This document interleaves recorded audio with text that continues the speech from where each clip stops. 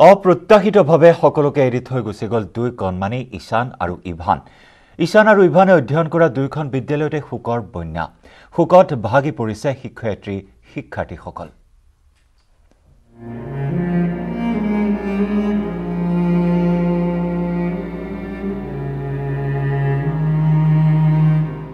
ঈশান আৰু ইভানৰ মৃত্যুত শোকস্তব্ধ ৰাজ্য।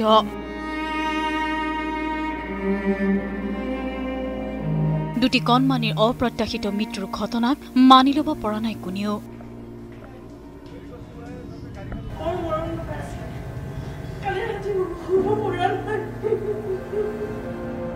শোকত উঠলি উঠিছে সকলোৰে বুকু। বিদ্যালয়তো শোকত ভাগি পৰিল ঈশানক পঢ়োৱা শিক্ষয়িত্ৰীসকল।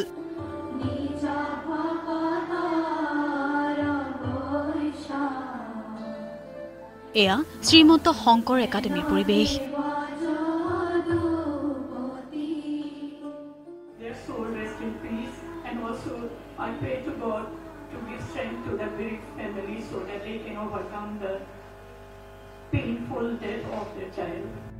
Class থ্ৰীৰ ছাত্ৰ ঈশানলৈ শ্ৰদ্ধাঞ্জলি জনালে বিদ্যালয় কৰ্তৃপক্ষই সিহঁতো তাৰ চাগে ওলাব নোৱাৰিলে দূৰ। হয়। আৰু ক'বলৈ আমাৰ মৰম ঈশানক সুঁৱৰি সেমেকি উঠিল বিদ্যালয়খনৰ পৰিৱেশ। এক মিনিট সময় মৌনতা অৱলম্বন কৰি বিদ্যালয় কৰ্তৃপক্ষই দুটি কণমানিৰ বিদেশী আত্মালৈ জনালে শান্তিৰ কামনা। স্কুল ছুটিৰ পাছত জেঠাই জেঠাইকো আমাৰ কলিগ হয়। ইয়াতে বহি থাকে জেঠাই কলিকে সদায় আমি সদায় এবাৰ মাত দি যাওঁ। সেইটো দৃশ্য নাপাওঁ আৰু। সেই অকণমানি ল'ৰাটোক। তাৰ লগত তাৰ অকণমানি ভায়েকটোও গ'ল। ইফালে কণমানি ইভানৰ স্মৃতি সুঁৱৰি উচুপিছে হোমৰ শিক্ষাগুৰু আৰু সহপাঠী শিক্ষাৰ্থীয়ে। কণমানি ইভানে অধ্যয়ন কৰিছিল মহানগৰী হোলী হোম বিদ্যালয়ৰ নাৰ্চাৰী শাখাত। বৃহস্পতিবাৰে ইভানৰ জন্মদিন উপলক্ষে বিদ্যালয় কৰ্তৃপক্ষই কৰিছিল জন্মদিনৰ বিশেষ আয়োজন। জন্মদিনৰ শুভেচ্ছা জনাই বিদ্যালয়ৰ বৰ্ড আৰু ক্লাছৰুমত লগোৱা হৈছিল ইভানৰ ফটো।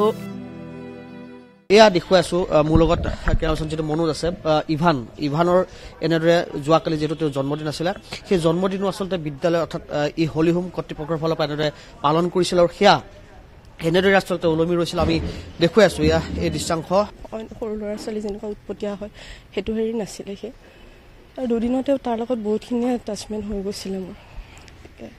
বিশ্বাসেই কৰিব পৰা নাই মই এতিয়াও কি হৈ আছে মানে কেনে কেনেকুৱা এটা ঘটনা ঘটি গ'ল। উপজা দিনটোতে নিষ্ঠুৰ নিয়তে কাঢ়ি নিলে কণমানি ইভানক। নিয়তিয়ে আপোন কৰি ললে ইভানৰ ভাতৃ ঈশানকো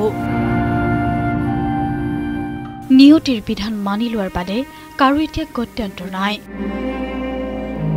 কেমেৰা পাৰ্চন বিপ্লৱ পালৰ সহযোগত কুঞ্জন কলিতা আৰু মনোজৰ সহযোগত Bhaskar Jyoti Hazarika news eighteen Assam north east.